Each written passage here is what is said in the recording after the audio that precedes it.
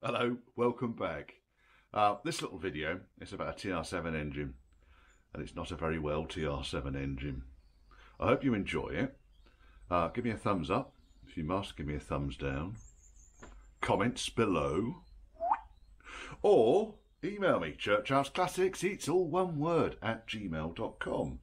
Uh, link to my website is at the top of my profile page uh, on YouTube. But if you're watching on the telly, as I understand quite a few of you do, Church House Classics, it's all one word, .co.uk, that's my website. It's not a huge amount on there, really, it's just an introduction page, and I'm going to be updating that soon. But YouTube is really my core channel here. If you fancy supporting the channel, or my time to maintain this channel, or even just buy me a pint, thank you very much, uh, then there's a little linky down here for a PayPal me link. Thank you very much to everyone that's donated towards the channel or bought me beer. I like beer. Anyway, enjoy the video. So the customer bought the car um, a, a, fair while ago. Uh, I'm not sure exactly when, five to ten years ago or so. Add down here. Um, and it overheated on the way home. Um, and uh, it turned out it was a stripped water pump gear. Um, it used to be quite a common problem. There was a whole world of uh, dodgy parts that were being circulated, uh, distributed by various suppliers. Um, and the problem was that the skew gear on the water pump wasn't hardened properly. And because of that, it kind of tore itself to bits during operation and then also destroyed the jack shaft just for shits and giggles.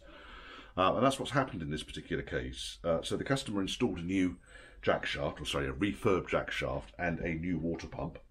Um, and then that's when it started making this noise. Um, customer got fed up with it all, lobbed it in the garage uh, and left it, and then contacted me more recently.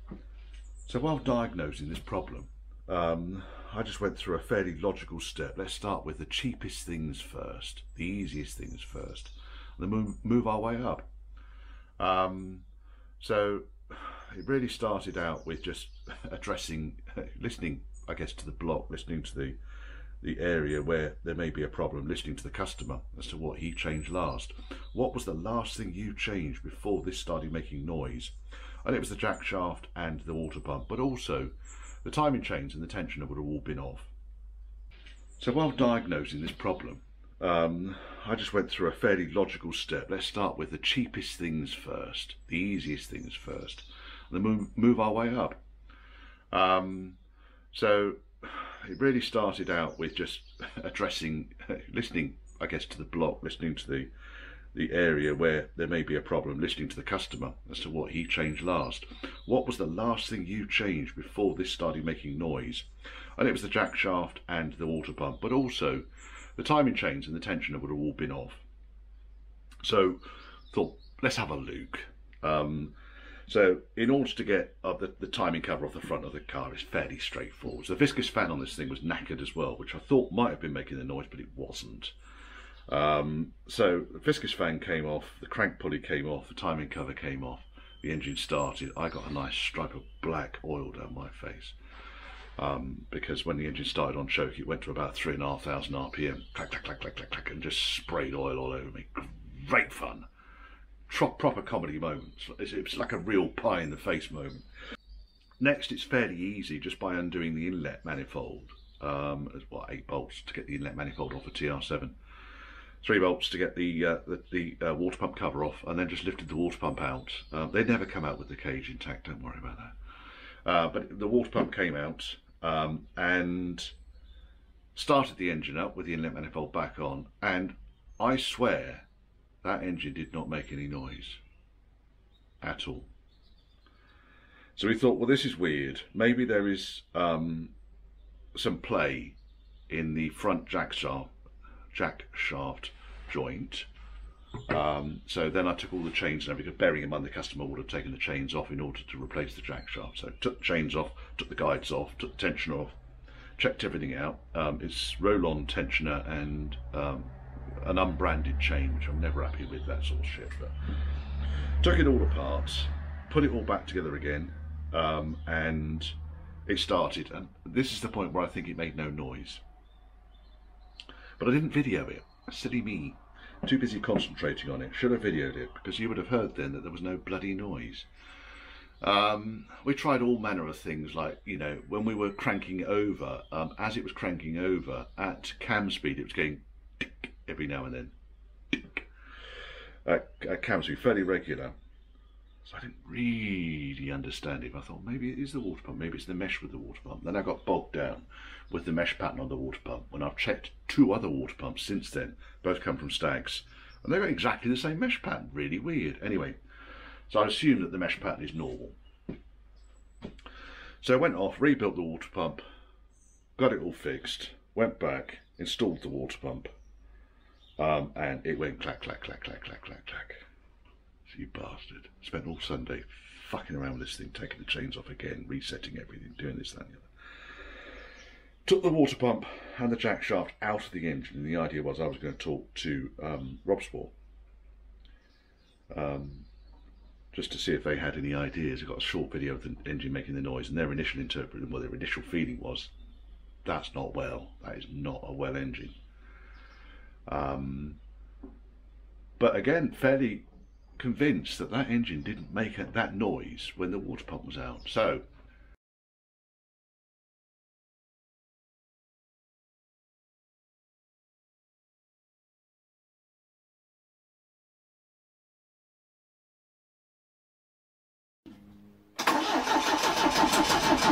Stop! We've got fuel pissing out here somewhere. Yeah, so the hoses. Should we do the other one to the from the copper pipe to the pump as well? Do you think? Uh, does it of look? Does it look as nice as these ones? It looks just as shite. Oh, I love a TR7. British, British Leyland. Just busy absorbing petrol. There we go. It's Bit, bit of new fuel lineage. fuel mileage always helps. No dipstick in. I need a bigger car. This is too small. small now. Dipstick's out here. Uh, will that throw oil around? No. Uh, I've got no battery. Ah, should we put the battery on? Oh, do you take it off? It? I disconnected it when we had fuel pissing around all over the place. God, you safety conscious madman. I know. Tell me about it. Right. I've got lights. Choke is on. Throttle is open. Clear prop.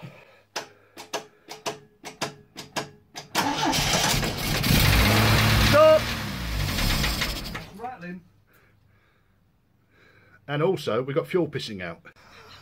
I didn't do that clip up. No, I didn't. well, neither of us did. Neither of us did that clip up. Right, okay, fire extinguisher out. Okay, right. Well, we, we- we shall reconnect. Clear prop. Okay. Choke on. Ignition on. Stand by. Choke off.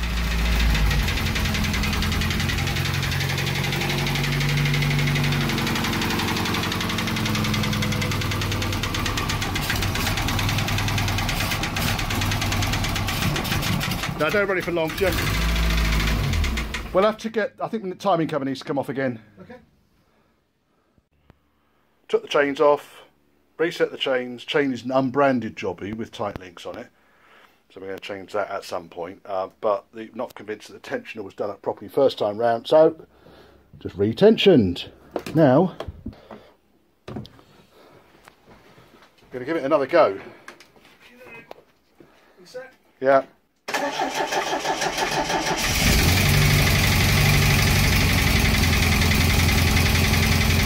Still not good.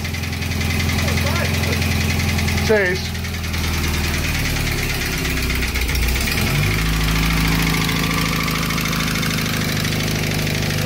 I reckon it's coming from here.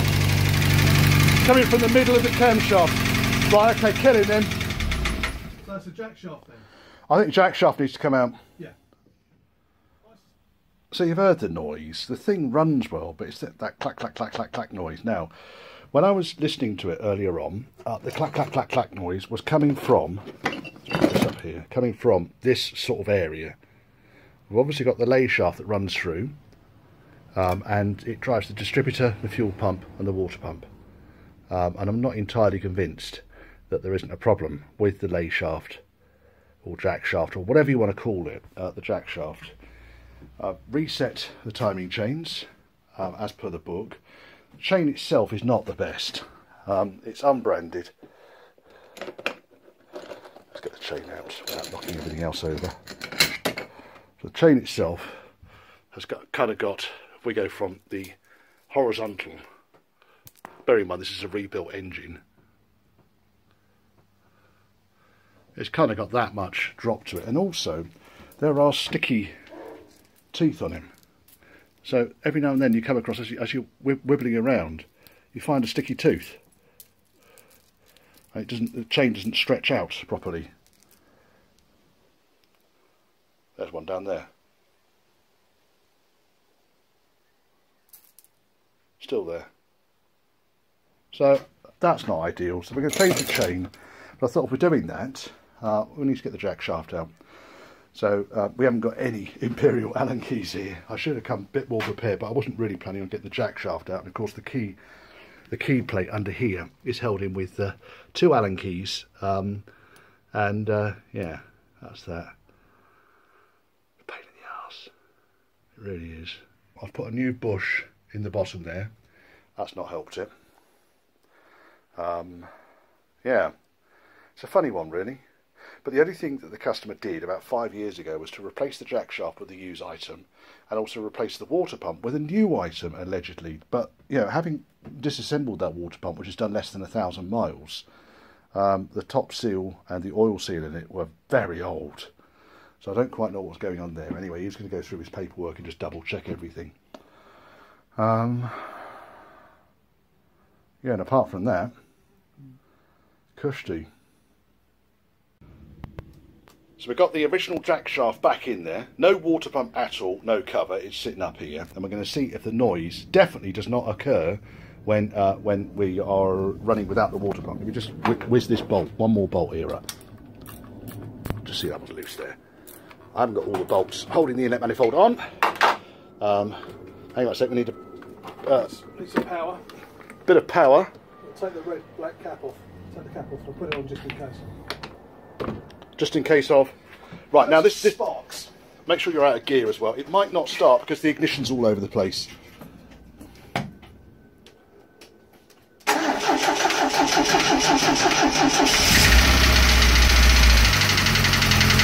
That's not encouraging.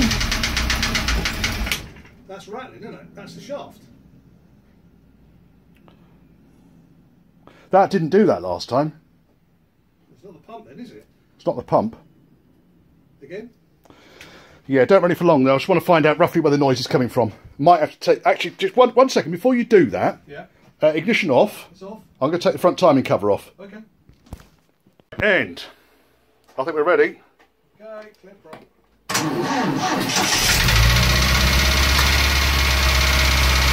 Coke in.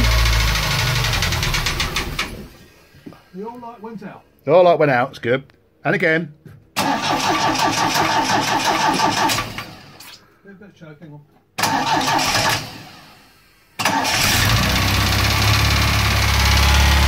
Now off. Covered in oil. Yeah. well, the oil lubrication's working. The chain tension is working. Should have put a cloth in here, shouldn't we? Did it? Mistake we made last time. Done now. I think if you can get another jack shaft tomorrow, I think that becomes our last option on this. Okay. Because I think we're um, we, we, what I don't understand about that is we definitely had that water pump out, and it definitely did did. not make the noise. I thought you were right. I thought and now it's done- making the noise. Yeah. Sorry about that, chap. Fine. It won't rust now, will it? Nor will I.